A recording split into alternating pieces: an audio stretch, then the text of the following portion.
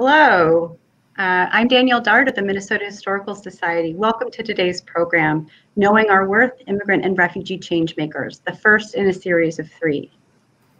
In this extraordinary year, the Minnesota Historical Society is marking the centennial of the 19th Amendment, the passage of which was an enormous accomplishment that nonetheless failed to extend voting rights to and expand democratic participation amongst Asian Pacific Islander, Latinx, African American, and Native American women.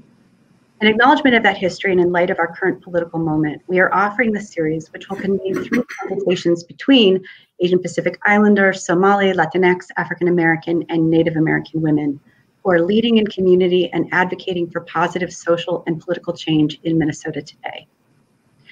Before we begin our conversation, it is important to remind ourselves that every community owes its existence and vitality to generations from around the world who contributed their hopes, dreams, and energy to making the history that led to this moment. Some were brought here against their will, some were drawn to leave their distant homes in hope of a better life, and some have lived on this land for more generations than can be counted. We can begin to acknowledge this history by honoring the truth. We are on the ancestral homelands of the Dakota people. We pay respects to their elders, past and present. And as you listen to today's conversation, I hope you will consider the many legacies of violence, displacement, migration, and settlement that have brought us together in this place. And now I'll hand things over to our moderator, Kim Heikkila. She is a historian who focuses on oral histories and women's histories. Kim, take it away. All right. Thanks, Danielle. And welcome to everyone who is joining us online, whether you're on Facebook or on YouTube. It's nice to know you're out there, even if we can't quite see you. So, welcome. Um, I am really honored to be a part of a program with three such accomplished community organizers and activists. Their work to preserve and expand our democracy is especially important as we approach one of, if not the most critical elections of our time, certainly of my lifetime. So we'll hear about the importance of the vote, of preserving access to the vote for those who already have the legal right to it, and of extending access to the vote for those who don't. But our democracy, our nation's future, and our national identity are shaped by more than just the vote, as important as it is. So we'll also have a chance to think and hear about other ways that we participate in the life of the nation, other ways that we can help help it live up to its highest ideals or to change those ideals if they need changing, and other ways we can create or express a sense of belonging. More specifically, we'll have a chance to hear from three people who are born elsewhere, came to the United States as children, and have dedicated themselves to doing this work. So I'm going to introduce each of our panelists very briefly because then I'm going to have them each introduce themselves in more depth and on their own terms. But I do want to make sure that we all know who is in the room, the virtual room with us. So I will introduce each of them very briefly. briefly. So Vangie Castro was born in the Philippines and emigrated to the United States at age three with their family in the late 1970s.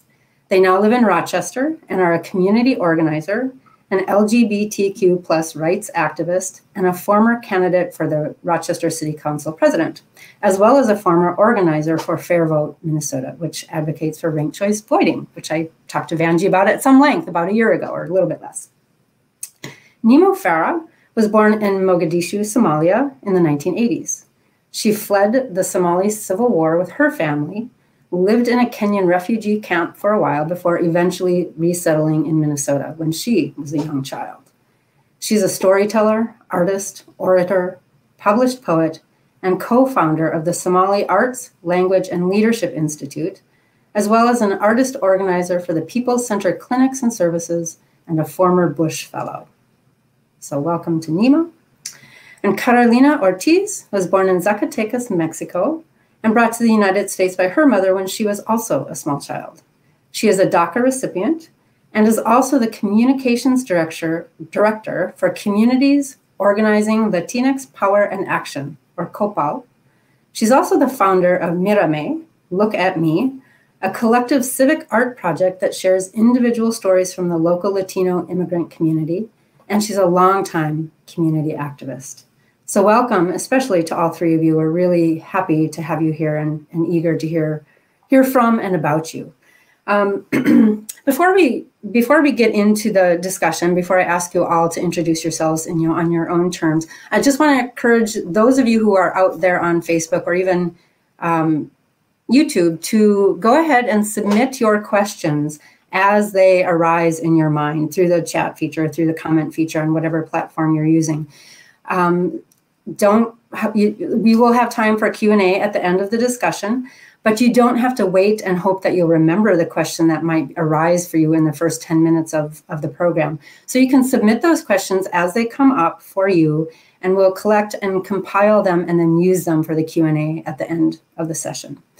So um, I'm going to pose the first question to launch the discussion, and panelists, if you can just make sure that you are all unmuted so we can hear you. Um, I'm going to just throw this out there and ask you this question by way of introduction. What do we need to know about you to understand who you are?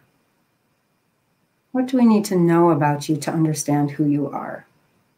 Carolina, would you like to start? I would love to. Thank you so much for for having us here today, and we're super excited. Um, but I think something that you need to know about me um, is that I am a DACA recipient, and everything that I do is because of my current status and also because of my community. Um, I've been working or volunteering and being part uh, socially in, in the community since I was nine. And that is again because um, there is a lot of things that I I couldn't do, so I had to find other ways. Um, and yeah, that's a little bit about me. Vangie, how about you? Uh, okay, so I what people need to know about me, and I think sometimes people assume is that I'm not an immigrant. That I actually was born in the Philippines. Um, my family came here, and they were my mom and dad were in their 40s when they were forced to have to come to the United States. I'm a naturalized citizen. I became naturalized when I was 18, and um, ever since I've been able to vote, I voted in all of the elections. Um, but also that I actually really wasn't very engaged until really until I was in my 30s. I'm now 46. Um, I think it takes you know when you're when you're an immigrant or a refugee i think that most of the time you're focusing on really trying to work towards uh, being part of uh, the american system versus being an activist or, or being socially engaged and so I, I think it's that's really what uh, um, people should know about something a little bit about me thanks Nimo Nimo? Oh, oh dear, we lost her.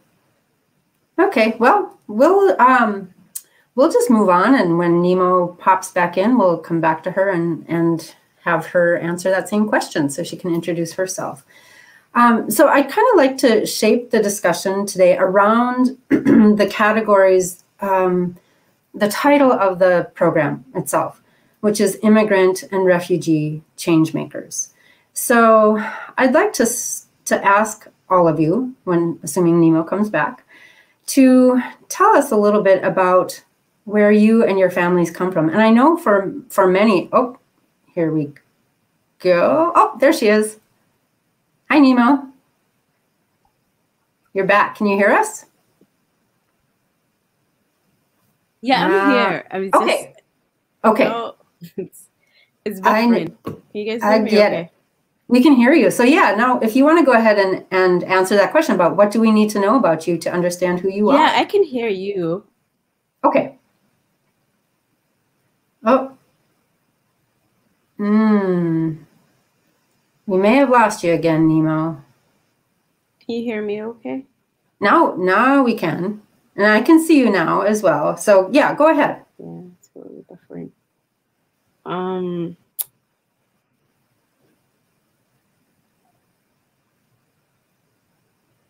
Are you there at all? All right, we might have to do some technical intervention for Nimo, or she might have to. You might um, Vangie suggested that maybe you just try to use your sound instead of the the video, so that might make an easier connection. Um, but I'm going to go back then to Vangie. I'll, we'll start with you this time, Vangie, and just ask you to tell us a little bit about where you and your family came from. And what I was going to say is that you know I recognize that some of these um, these stories about where you came from might come from your family as much as from yourselves because you were so young when you came. So if mm-hmm. you could just start by telling us a little bit about your family and, and where you came from. Um, so I was born in uh, Zamboanga City uh, in the Philippines, and it's kind of um, in the central, south central parts of the the Philippines. And my dad at the time, you know, he worked for a bank. Uh, he graduated college and became a certified public accountant.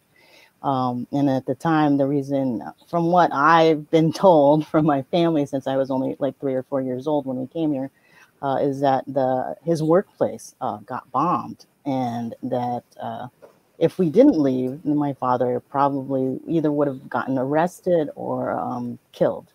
And so it was, uh, you know, we came for political asylum uh, in at the late in the late 70s when uh, uh, there was martial law going on in the Philippines at the time, and it was much safer for us to to immigrate to the United States than to stay. Um, and I, I think what's important for people to know is like a lot of folks that leave their home country usually don't want to leave, and it's sometimes forced if there's like civil war, drought, things like that.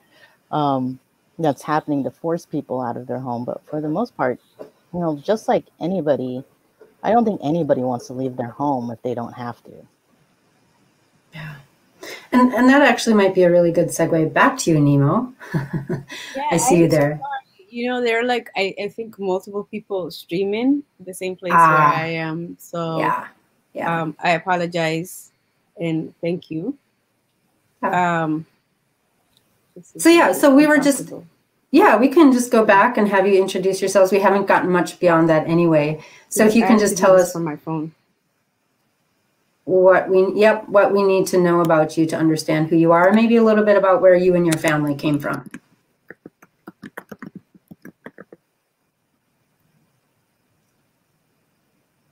Are you there? Uh-oh. All right, so maybe she's switching to her phone. So Carolina, let's let's go back to you.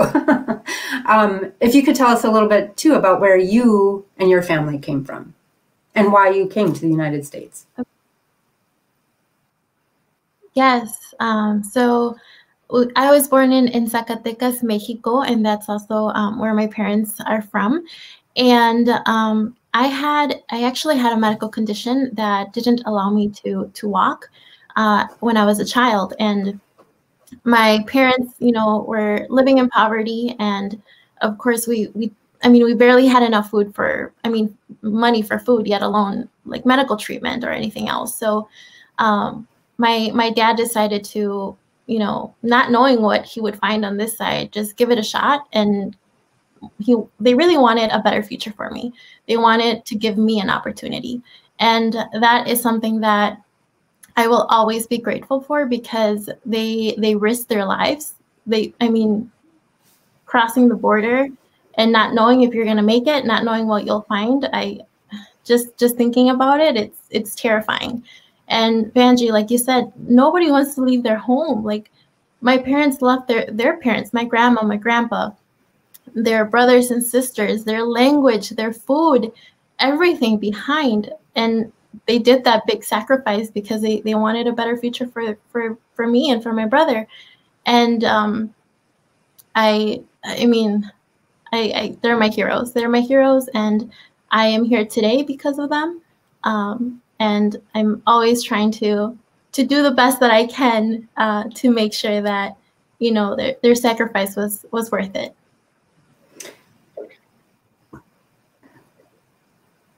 See you again, Nimo. You're muted. Uh, I, there we okay, go. So I, have I've unmuted myself. You know, in terms of um, introducing myself, I will just go back to that. Um, my my name is Nimo. Um, in Somali, it's pronounced Nim'o, and sometimes Naima. Um, it, it's the name of a heaven, but it could also mean comfort and happiness. So I think I try to embody that as best as I can. Um, I was born in Somalia, but I grew up in South Minneapolis. Um, and I think one of my, I I feel like I can never see something going wrong and not want to do anything about it. I'm one of those people that has always felt like if I if I can be helpful, I will be helpful. If I can be a witness, I'm gonna be a witness. Mm-hmm. Yeah. So um, that's mainly who I am, um, and that's what got me into community organizing and um, just like uh, wanting to be a, comp- a more compassionate human being. Okay. And how old were you when you came? You came with your family to the United States. Nine. Nine. Yeah. Okay. And did you come to Minnesota right away? It's by way of Virginia. My parents had friends in in um in the DC, Virginia kind of area like that. But uh, when you're a refugee and everybody that you've known is accepting family, you end up having to figure out what to do. And so one of my mom's best friends slash cousin, who's also my second mom, lived here. So okay. this is how we ended up in Minnesota. Okay. So all of you were children when you came to the United States. Um, and Vangie, yeah. You grew up primarily in, in California, yeah. but um, children, you, what, ch- ch- children, children in age, but not in experience. Right, right. Certainly a different. You were having very different life experiences by age three, four, and nine than yeah. than I was, yeah. as somebody who was born and raised here. So, yeah. so t- and Nimo, you might be able to answer this question a little bit more directly than Carolina and Vangie because you were a little bit older. But what do you either remember yourself, or mm-hmm. did you hear later from your parents about um, making that adjustment to life in the United States. What was that like for you and your family? So, Nimo, why don't you go ahead and start and then we can.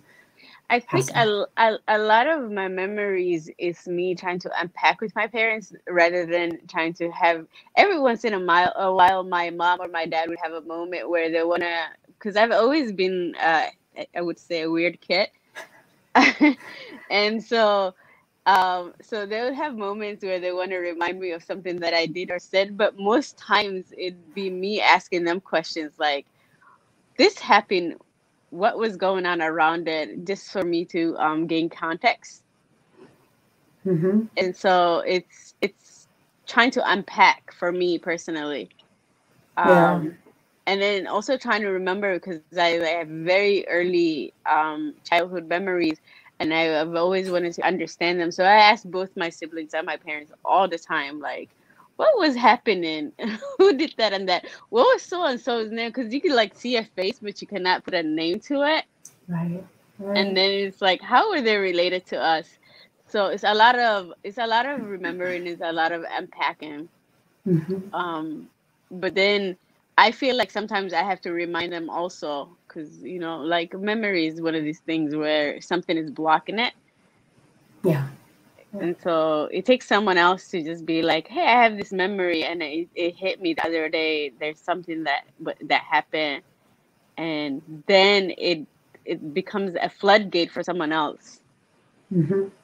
Were there any particular memories that you have that stand out from your you know your young life as you were making the transition here to the United States or to Minnesota? Everything. It's it's so scary and so wonderful. And then it's also one of these things where you had an expectation, but then the expectation is not fulfilled. What were you expecting? and so like a certain oh, so I I don't know if it's part of my bio that I, re- I grew up in a refugee camp literally right before I came here. And so for some reason there are all these like advertisement magazines at the refugee camp with like roller skates and bicycles and just like really happy kids. It's that's what I wanted. But then we arrived in 1994 in September, but it was snowing. It was so cold. I'm like, none, none of anything that I imagined was happening. So I'm like, what is this? False advertising. Vangie, how about you? Completely false advertisement, huh? Vangie, how about you? What what um either what do you remember experiencing yourself as a child or hearing from your family about their adjustment to, to life in the United States or to California, mostly for you?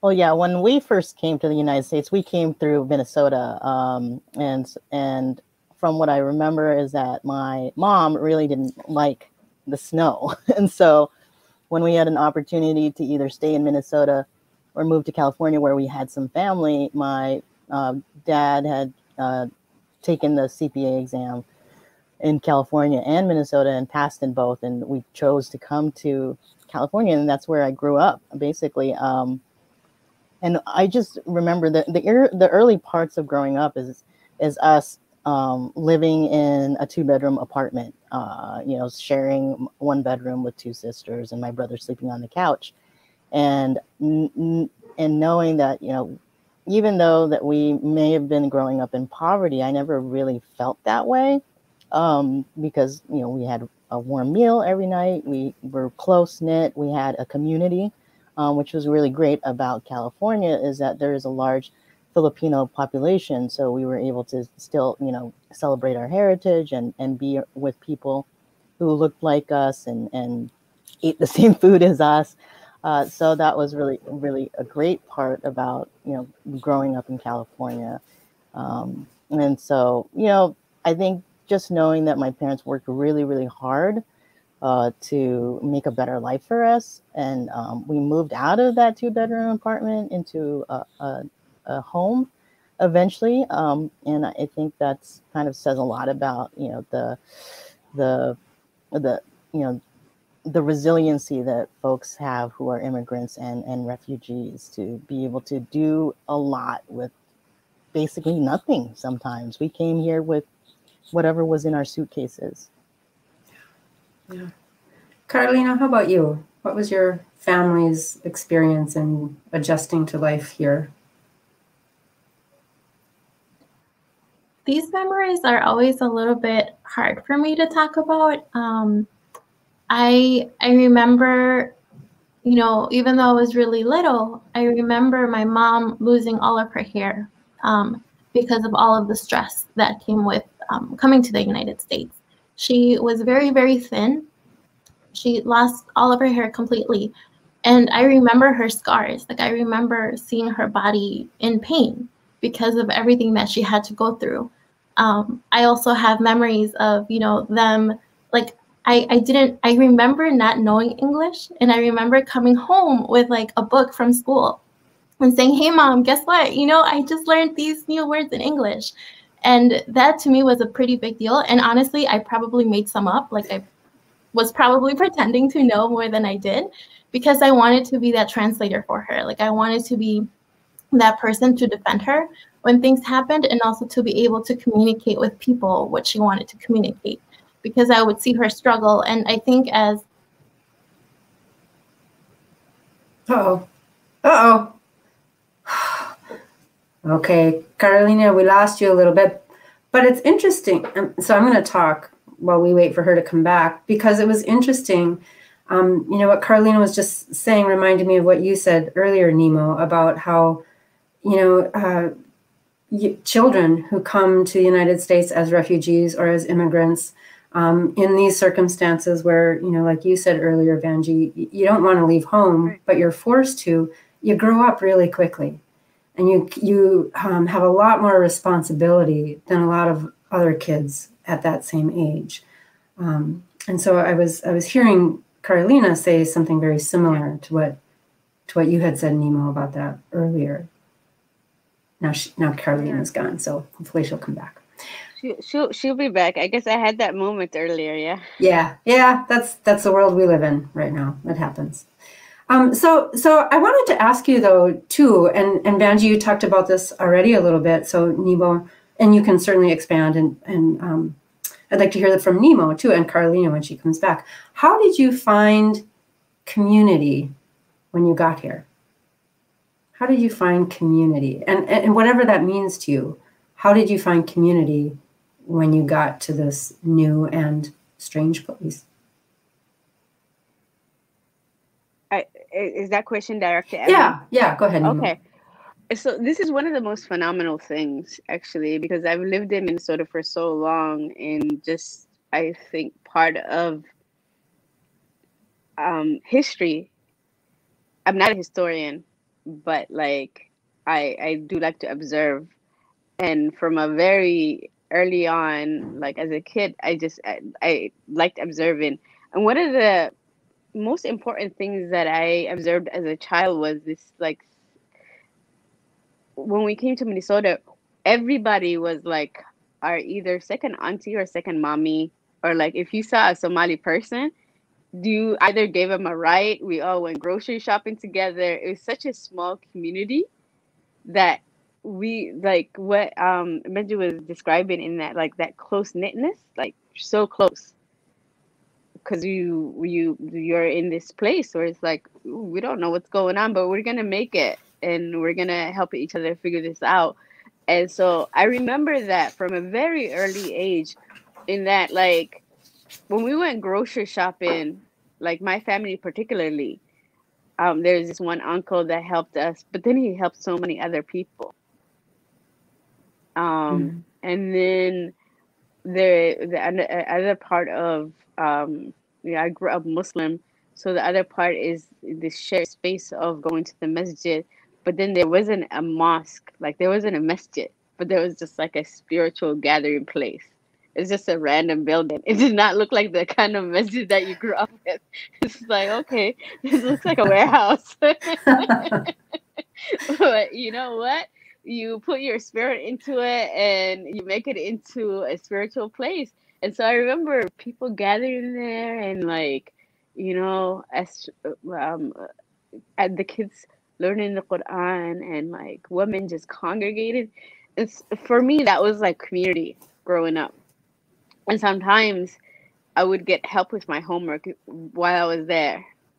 Or like somebody would um, tell me about this like audio tape in which I I'm 9 years old, 10 years old. I remember falling asleep to like English audio tapes that was like the most fascinating thing to me. I went to the library and got this audio. I'm like, I don't know who John, John, who's this, Samantha, these people, they're having a conversation. I'm like, I'm gonna listen to this with my little cassette that I borrowed from the library because somebody at the mosque or this place that I went to told me about it. Mm-hmm.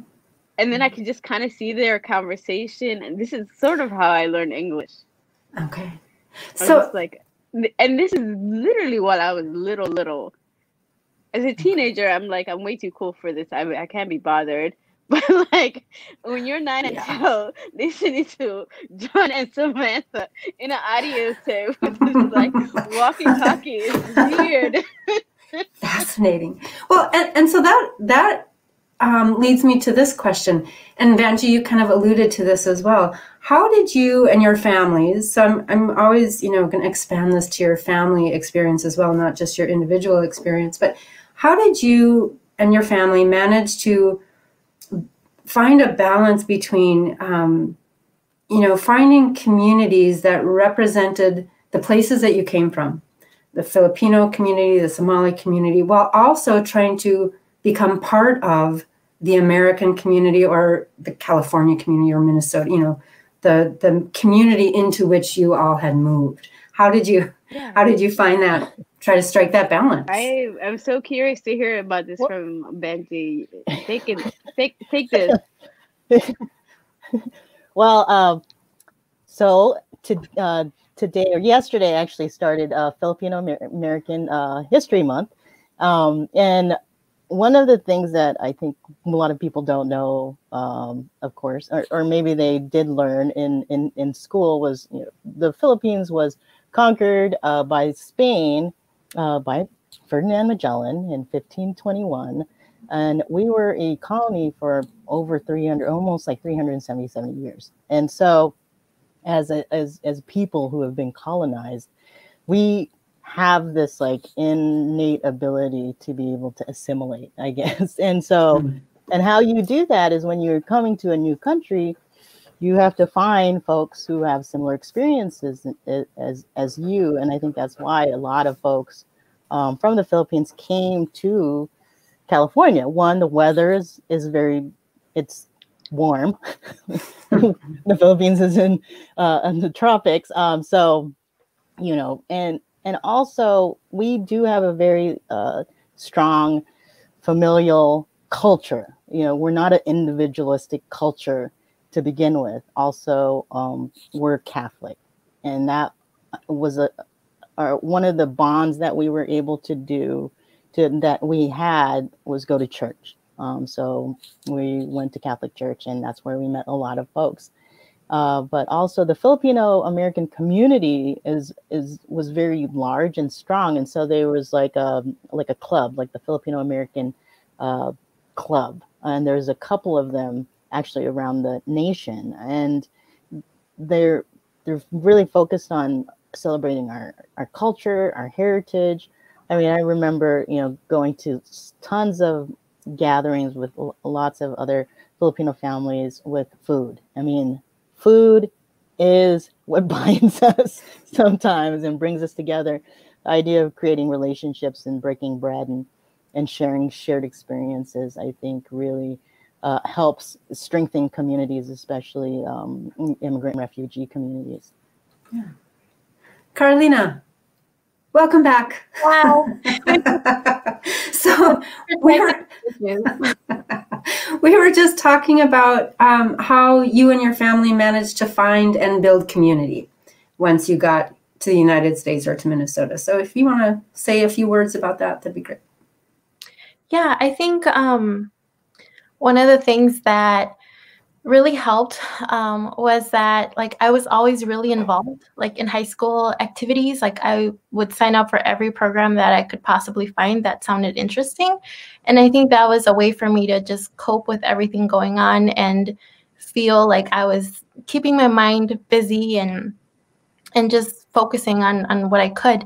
And um, apart from that like you know i would always make sure to include my family like any any events i would always include my parents because i wanted to the, for them to also feel like they were part of what i was finding to be part of um, something um, apart from school that was church um, i have met like amazing mentors uh, rico he's been my mentor since i was nine um, from the church group that I was in.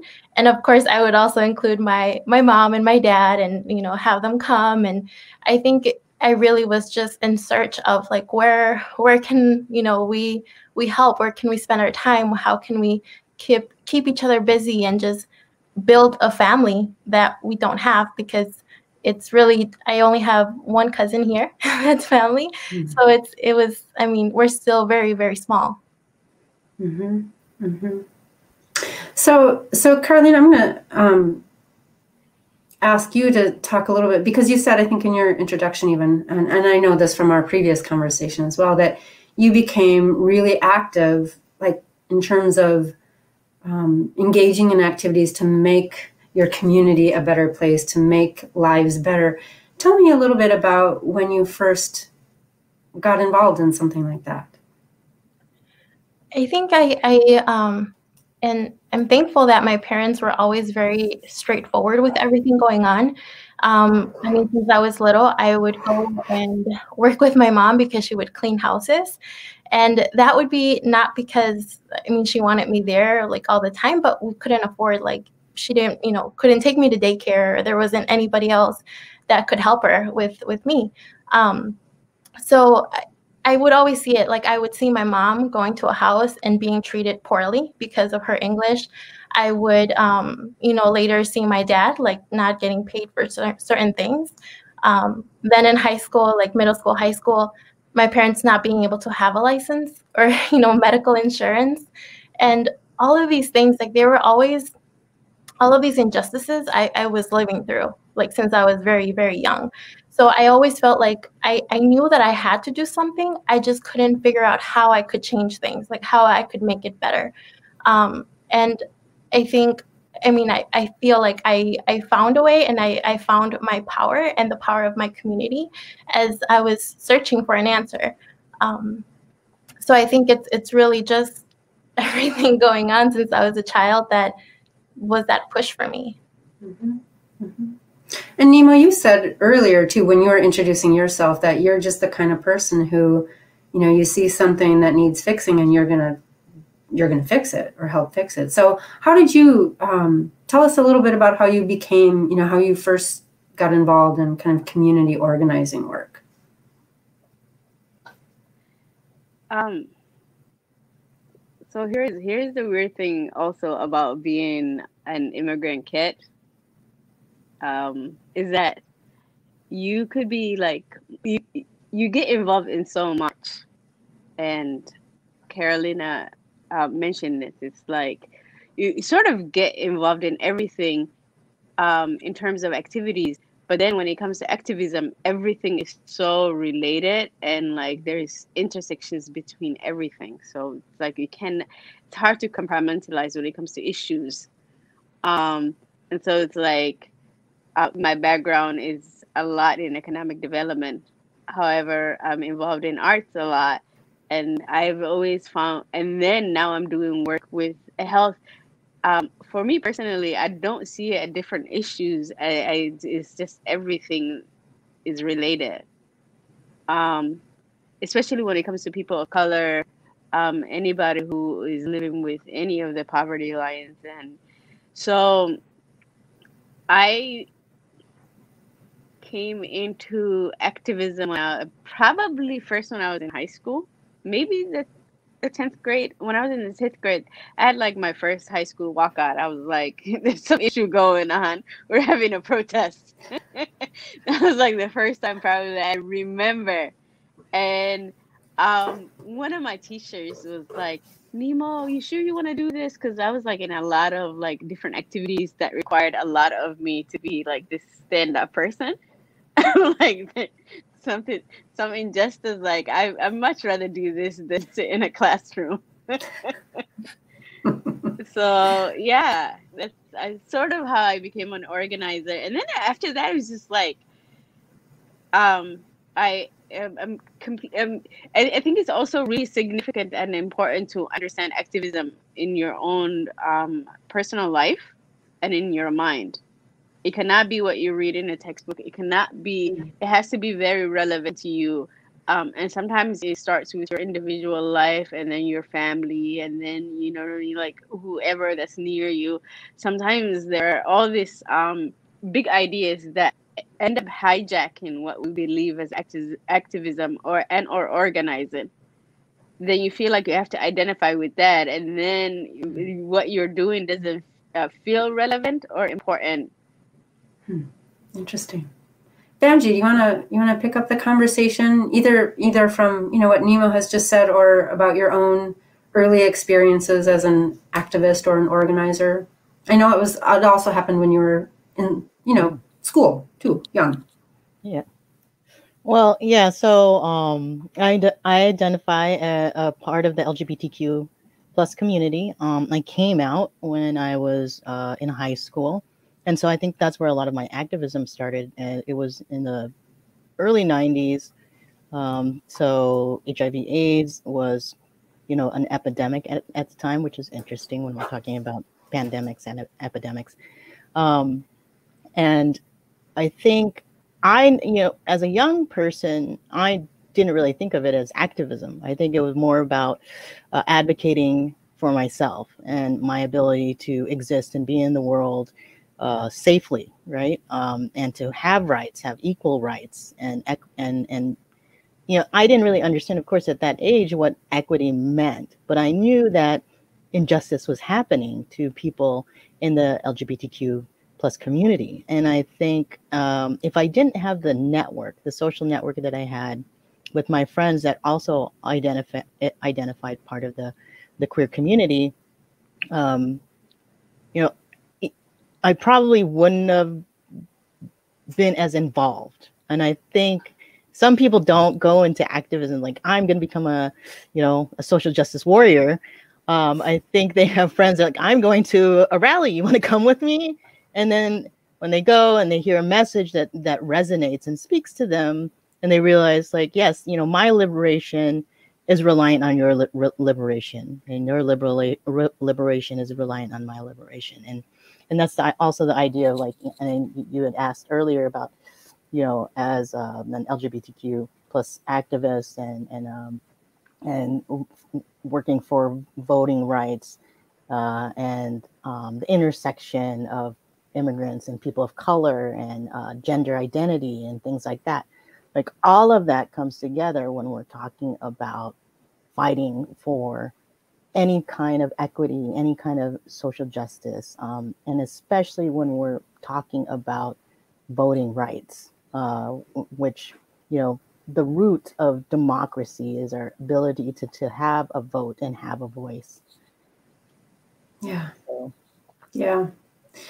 Um, I could also add to that, like, you know, I really wasn't very political until college, um, where you go to get become a liberal snowflake. So,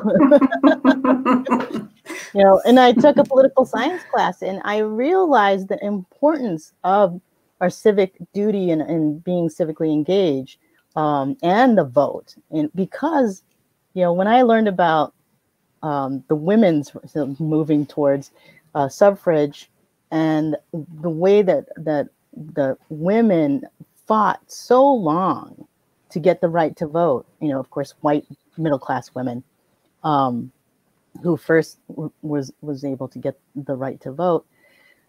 Uh, it made me realize, like, if people are denying folks the ability to vote, that must be a big deal that must be something that we really should be fighting for if there's so many people in power that are keeping us from voting. So, hmm. mm-hmm. There, there are so many ways we could go with this conversation, so many interesting issues you've all raised, and we don't have four days to do it, unfortunately.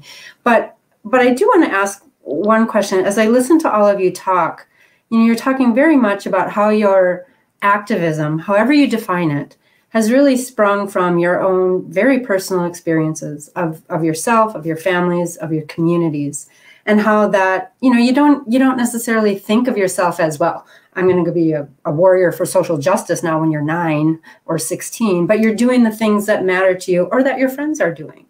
Um, but then, Vangie, you're talking about the women's suffrage movement.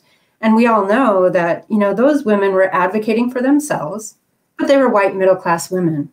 And so there is something about um, a question I want to ask about how you both um, work for change on your own behalf and then also how do you do that on behalf of justice for others?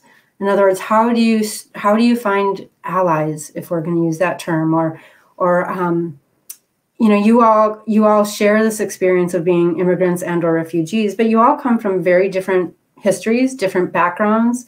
You have different racial identities in the united states. So how how do we make change we the big collective we um, across those kinds of communal or cultural differences anyone I'll, I'll throw that out there to anyone who wants to take that one on or i'll or i'll ask somebody specific? You know, Carolyn, says I'm older, I'll take this. yeah, go for it. I'm gonna act like a grandma right now. um, the most important thing about this is that um, we're not here to fix anybody's issues. Like, um, as as as as much as you want to expand your heart and like your willingness to take care of the world you first of all you take care of yourself you take care of the ones that you see. Like you focus on your own experience.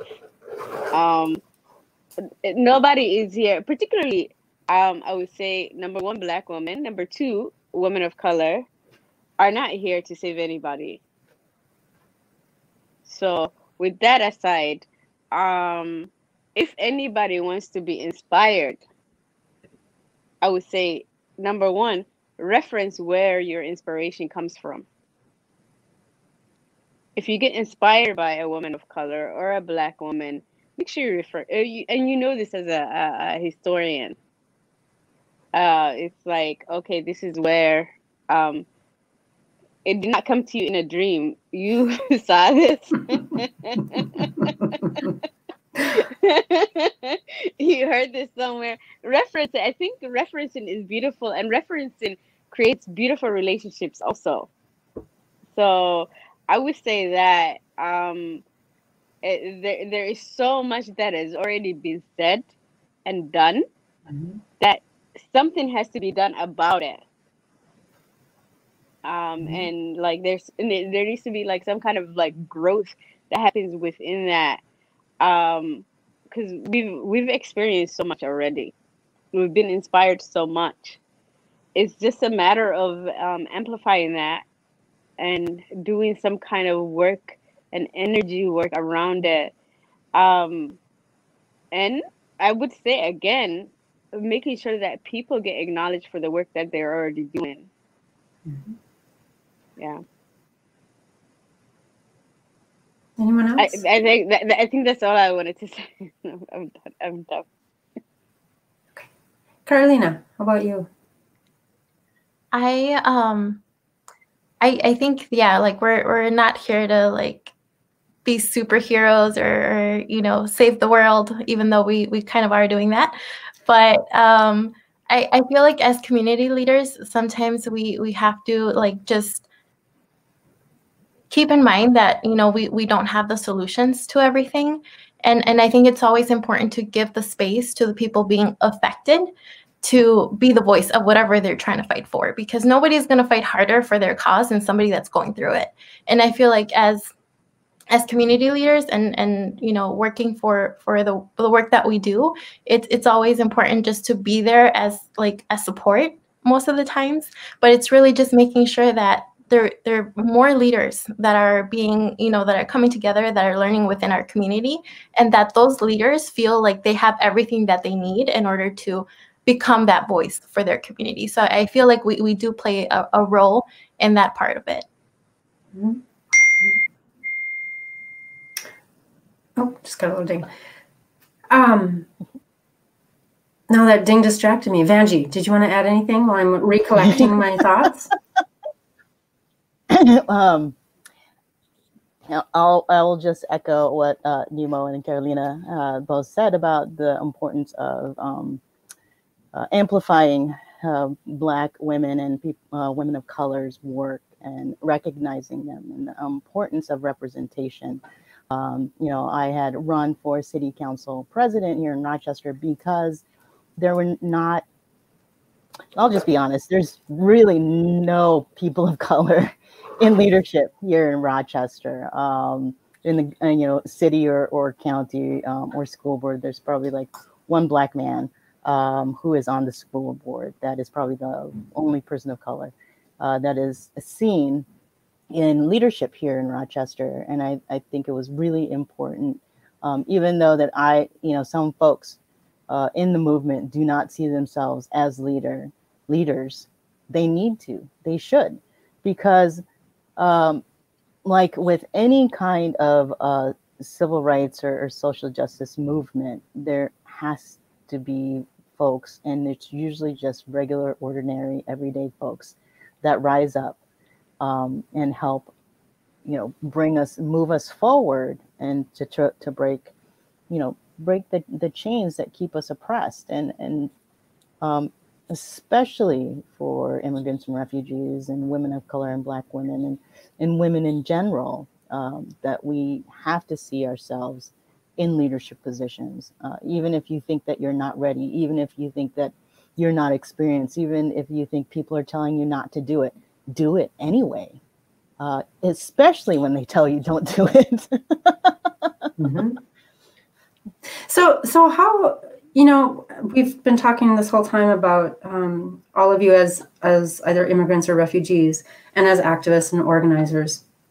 Um, how how do you think that part of your background, that part of your history, that part of your personal identity, being having come from somewhere else, has informed your activism or your organizing um, in ways that might be different than, say, indigenous organizing or African American organizing? Is there something distinct and unique about being an immigrant or a refugee that informs the work you do? So, Nimo, you want to take that one? Um, yeah, so it, it, it's it's a huge that's a big question by the way. Um cuz number 1 it's like I there are all these I live in South Minneapolis and um there are all these encampments. So the other day um I'm currently taking care of my mom and the park near her house has this encampment and it's mainly indigenous people. And uh, you know i i go for regular walks and i ask them hey man what what, what do y'all need today? And they're like pillows. So i'm like okay i gotta go get all these pillows then i was having a conversation with my mom afterwards and you know i i wanted to describe to my mom like the kind of like pain that i felt for what i saw uh, to the to the point where I was like, even though my mom lives in the United States, she has such deep connection to where she comes from. So I said to her, imagine if you've been displaced, completely displaced from like um, the rural parts of Somalia where she comes from. And then now you're like living in an encampment and like, you know, this is happening. So we, we literally just sat and we we had this quiet moment where we both cried, but it was so quiet.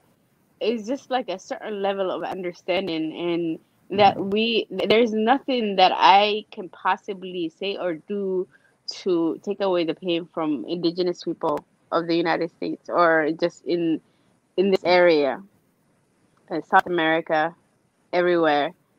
Um, with that with that said, um, as a new uh, African person that is a refugee, there's a different experience that also people that are African American have that I also cannot do anything about, and that is not my experience. And so it's it's just like you have to know when to connect and when to be in solidarity and when to just stay in your own lane. Pretty much it. I, I think mm-hmm. it's a mm-hmm. lot of observing and it's a lot of talking and communication. Mm-hmm. Some people just move too fast. Certain leaders, I'm like, no, you you, mm-hmm. you don't know this person's experience. Mm-hmm. And listening. Stay, yeah, stay out of it. I'm like, and if you don't have the capacity, you do not need to be doing this kind of work. Yeah. Vangie or Carolina, do you want to add anything? to that question? If not, I have other questions. Carolina, do you want to go? I mean, you I can, can, go, ahead, Vangie.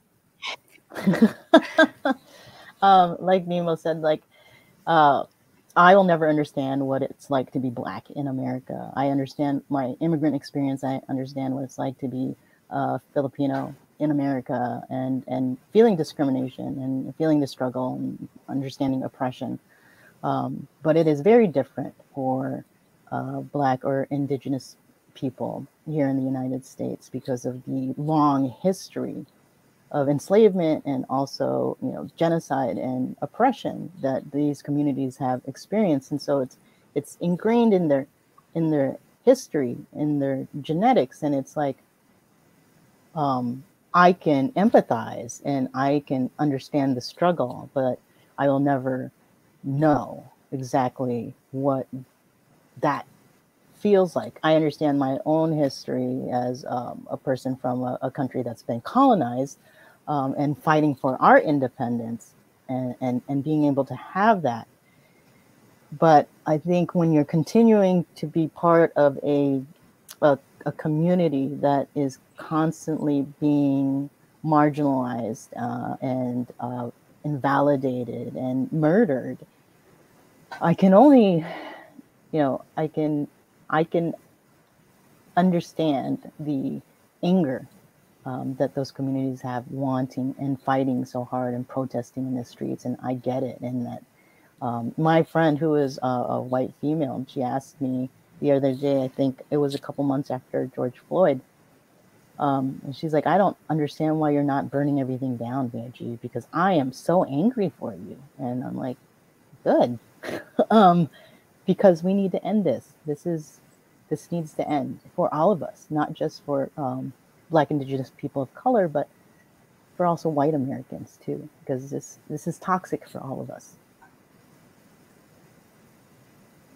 Carolina? I I mean I agree with with Vangie and Nimo, and I think something that the part of listening, just really listening and having meaningful conversations with each other, I think is is something that's really important, and we should always always be there to have a conversation like this. Like, you know, what are we going through? Like, what what are your challenges? What are mine? Like, just having a conversation, I think makes makes a big difference.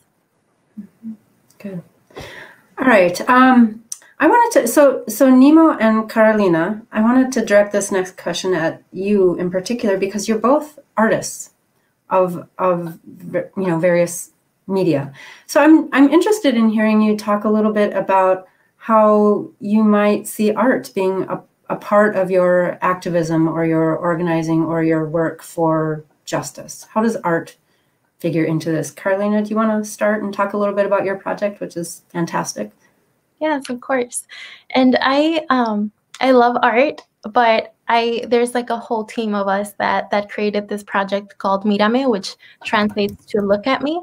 Um, they're really the artists. Like they put together um, this whole project. So um, I, feel like there's different ways of activism, and one of them is art, art, music. Like there's there's so many ways to show um, or demonstrate like what you're trying to say or communicate to the world. And um, one of the beautiful things is like this project came about because I was angry. I was very angry at the fact that I was watching news where they were calling immigrants animals. And I mean, that's me. That's me. That's my family. That's my community. And I was hurt and I was angry. So I was like, okay, what can I do to let this out in, in, in a good way and, and actually make an impact um, and and put something different um, out there. So that's that's why this project was created to really show how beautiful my community is, to show how working, how, how hardworking they are, how resilient, um, and it was really to showcase all of the beautiful people in my community. Um, so yeah, that's that's part of of the project. Yeah, it's a fantastic project. Nimo, how about you? Where does your art fit in? your poetry, your writing? Um, it, it, it's that it, right now. I, I guess I, if, if there is one particular project that I can point to that I've been working on is um, not to say um, men don't do anything in within my community. they're wonderful, great. um, but the project that I've currently been super invested in has it's called Mandek in Motion. Um, Mandek used could have been the second name of Somalia, but it's like a, a woman's name, which means like a soul that's complete. So Mandek in Motion is um, a photography slash storytelling project about Somali women's uh, history in terms of clothing from the 1800s to now, because uh, uh, clothing carries so much history. Mm-hmm. And it, it's like one of those projects that I've just gotten lost in. It, it like it's so fascinating, particularly now because it's within the diaspora. There is this um, acceptance of self within women, and like just saying who you are and what you want to be. And so I, it's it's taking me like um, again, I feel like I'm an observer where it's like to what point as an artist um and also like a curator this particular project i'm curated like you you get lost in the observation. Hmm. you're like i'm looking at this. This is hmm. so phenomenal. And you stare at it for so long um and want to see it into fruition so this is yeah um that's kind of what i'm working on. And part of it is so political too. Like women's clothing in any parts of history it i, I in in doing this project i've looked at different um countries and different nations and different parts of history where what women were wearing and like how women were controlled through clothing hmm. Interesting. Yeah. Um, so I don't I don't know. Like I, I appreciate that part of art and that part of uh, a lot of a, a huge part of being an artist is being an observant. I feel like being a witness, um, and finding a way to articulate that in with either words or visually or you know like bringing people together. Yeah wherever that means and yeah uh, and it's also i would say the most important part of it for me when i don't feel like i need to do a big project it's also just having everyday conversations that is the hugest part uh, of being an artist because like for me with poetry i don't feel like i need to publish something to be poetic i could have a poetic hmm. conversation with somebody could like yeah, I can help someone come into an understanding, vice versa, you know? Hmm. Yeah. I, I really like that idea. And I like what I've heard from all of you. Um, what you've all said about how activism or organizer, you know, this kind of work to for for social justice to make our world a better place can can and should start from where you are. You know where you are you don't have to start with a grand idea with a grand plan with you know anybody else's idea of what activism is or or you know um, with the grandest goals but that you can start whether it's through art or other kinds of activism where you are and where you come from i think that's really inspiring so i am i am looking at the at the time here and i want to be respectful of everybody's time i know um, we all have other places to go today. So I want to wrap things up here a little bit with, with three questions um, that I would like to pose to all of you. And the first one is you can see it there on the screen. What would you tell someone, a young or inexperienced person, especially someone who is an immigrant or a refugee, who wants to make change? What advice would you give that young person? Vangie, let's start with you. Um, so I'll think about what what um, someone had said to me uh, when I was a young person and didn't wasn't really interested in activism. Um, and uh, it was a peer friend who said, you know, Vangie, uh, you are uh, a brown, uh, gender nonconforming person of color, uh, immigrant. Um, you can't just blend in. uh, I think it's important to advocate for yourself, um, to have your own agency. And even if you are a young person who uh, is too young to vote, um, you still can be active. You have the right to uh, hold your government accountable. We all do. And, you know, coming from um, a country that ha- had a dictator, basically, uh, if we want to prevent that from happening, we have to redress our government when we are displeased with um, them, you know, infringing on our, our rights. Uh, and I think that's important for all people uh, in general, and not just in the United States, but all over the world, uh, to you know to have their own independence and their own agency, and to be able to hold their government accountable. And you can do that either you know being at a rally at protesting and when you do turn 18 and you're eligible to vote register and vote and get other people to vote and talk about the importance of being civically engaged. I think more people need to understand when you say i'm not political uh, that's saying a lot about that you have privilege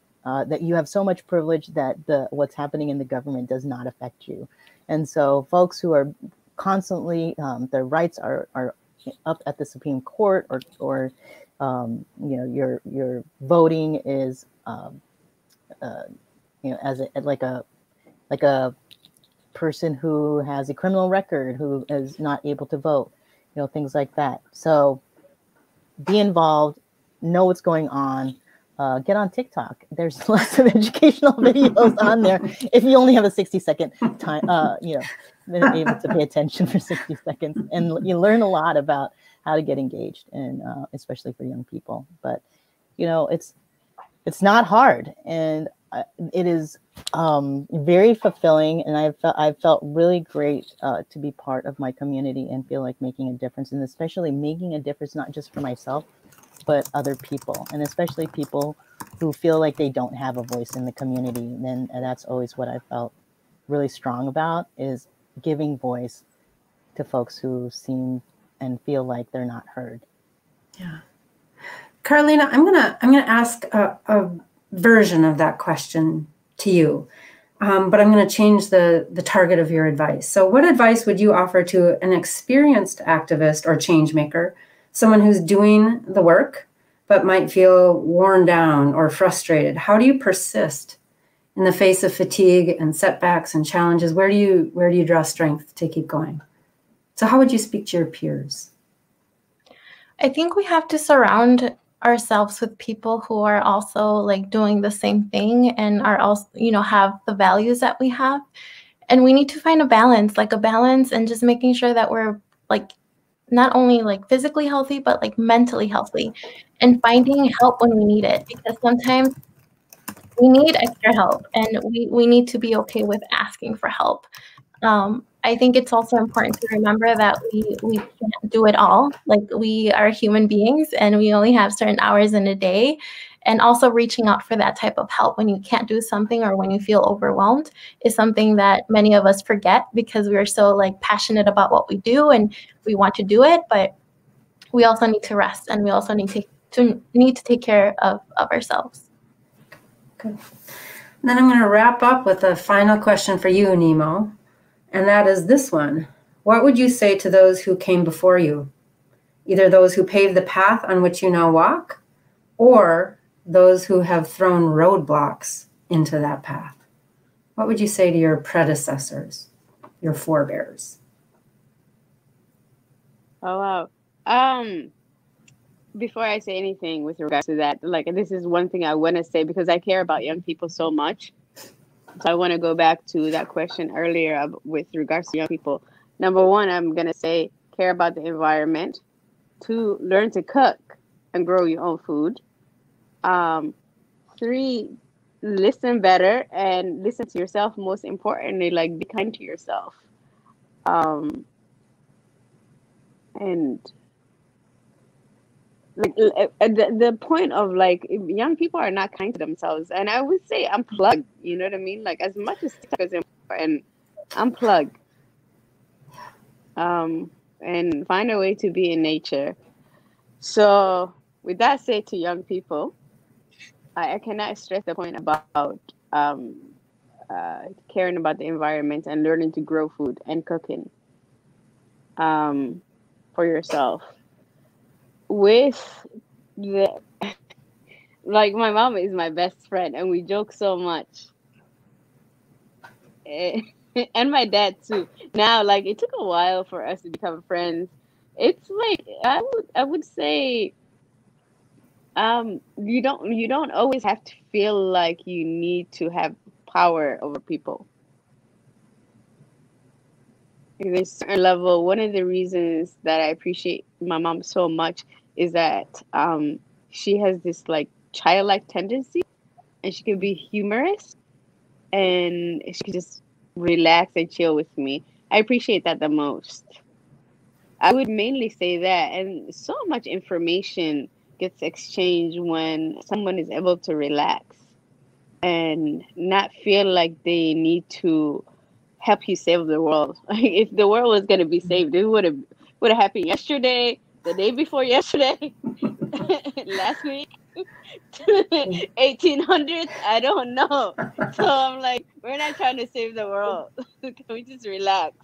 So within, that, within that relaxing, it seems like it it it really paves the way for um it's just a wonderful relationship to take place and uh, intergenerational relationships are important.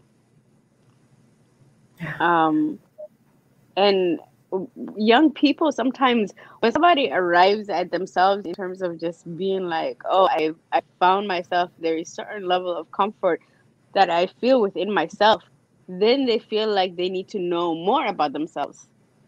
Mm-hmm. and so um, you don't want your child or your grandchild or anyone to resent you because you're not accessible mm. and you're power tripping So there you go. Yeah. There you go. All right. Well, thank you all. We are we are at time, so I'm going to wrap it up and and let you all go. But thank you so so much for coming today and sharing just these little bits of your stories. I know we could have continued for many many hours to learn more about you, but I really appreciate the time. Thank you so much. And I just want to say you. before everybody leaves, watch this space for information of the, for the upcoming um, Knowing Our Worth uh, conversations that are going to happen in November. Hope we'll see you at, at those and have a great afternoon. Vote if you can, vote. Bye. Bye. Thank you.